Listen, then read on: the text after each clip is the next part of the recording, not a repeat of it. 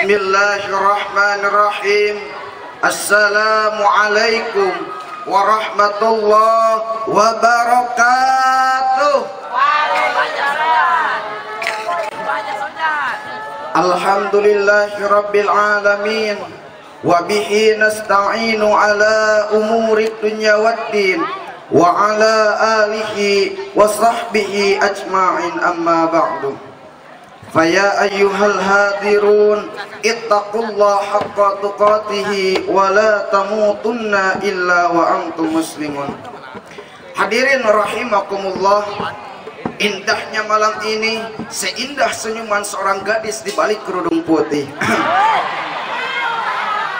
Indahnya malam ini marilah kita hiasi dengan untayan kata yang akan membuahkan hasil pahala. Jika disebut oleh insan yang bertakwa yaitu kalimat tahmid dan tasyakur kehadirat Allah Subhanahu wa taala yang senantiasa mencurahkan rahmat dan nikmatnya kepada kita sehingga kita bisa bertemu lagi, bisa berjumpa lagi dengan saya Ustadz Millennium Kiai Haji Dr. Andes Profesor Bapak Latif Badru Jaman MAG.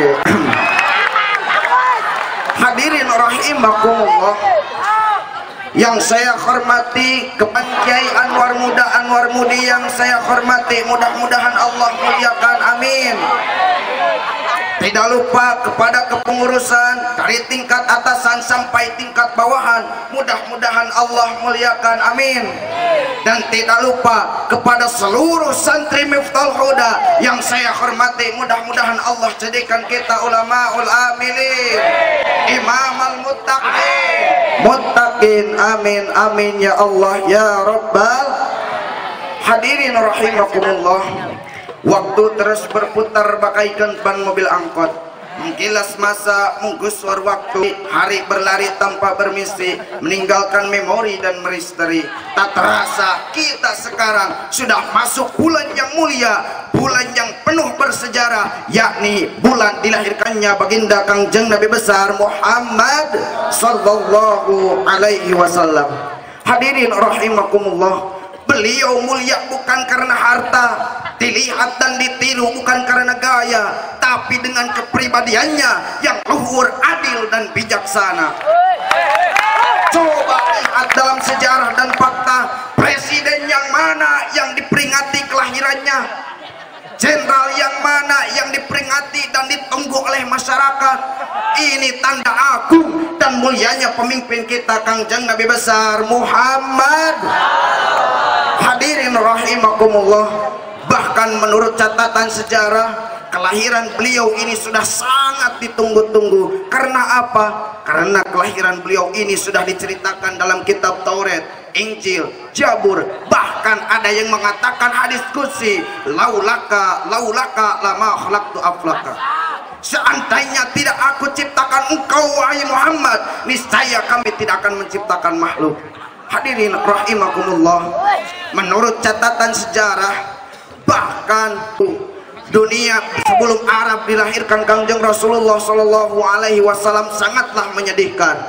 Masyarakatnya bodoh akhlaknya bejat suka maksiat berjudi bercina mabuk perang bahkan menghormat kepada Buddha dan patung berhala.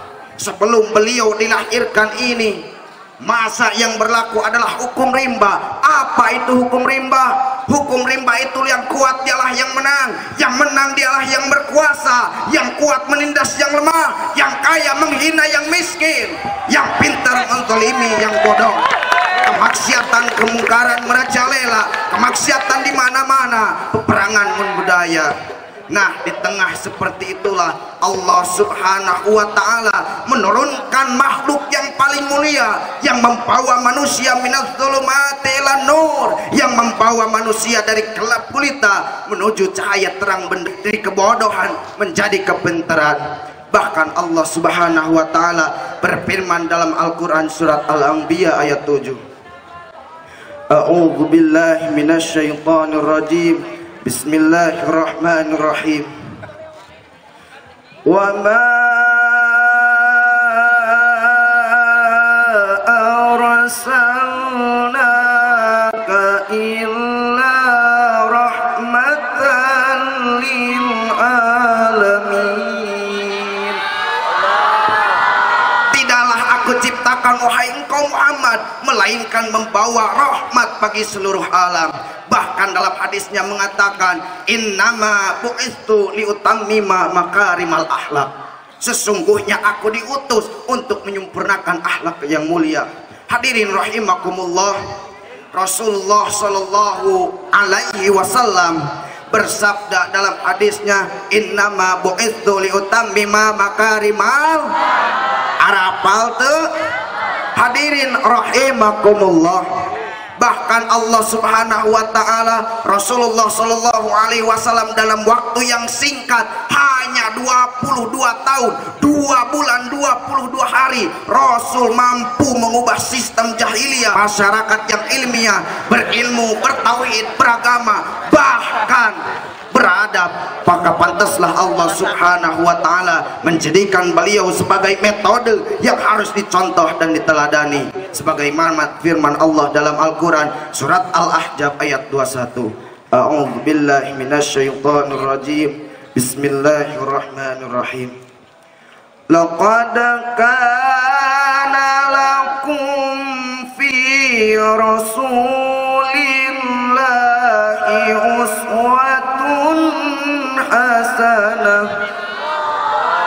Hadirin rahimakumullah Sungguhnya telah ada pada dirimu untuk Rasulullah Yaitu suri tauladan yang baik. Hadirin rahimakumullah Mungkin hanya itu yang saya dapat bisa sampaikan Dari awal sampai akhir. Saya bisa simpulkan Bahwa bersyukurlah kita kepada Allah Karena Allah subhanahu wa ta'ala Telah menciptakan manusia Afdolul makhlukat Afdolul mawjudat. Inilah manusia yang kita peringati kelahirannya saat ini Kau begitu sempurna di mataku kau begitu indah. Kau membuat diriku akan selalu memujamu. Di setiap langkahku Aku kan selalu memikirkan dirimu. Atau bisa bayangkan hidupku tanpa cintamu. Janganlah kau tinggalkan diriku. Takkan mampu menghadapi semua. Hanya bersamamu ku akan bisa. Kau adalah nabiku.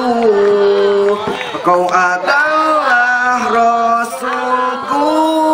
Kau adalah hidupku Lengkapi diriku Oh nabiku kau begitu sempurna Hadirin rahimakumullah Mungkin hanya itu yang saya dapat bisa sampaikan paru zaman. Terima kasih atas perhatian Anda. Khutmah sofa wa Assalamualaikum warahmatullahi wabarakatuh.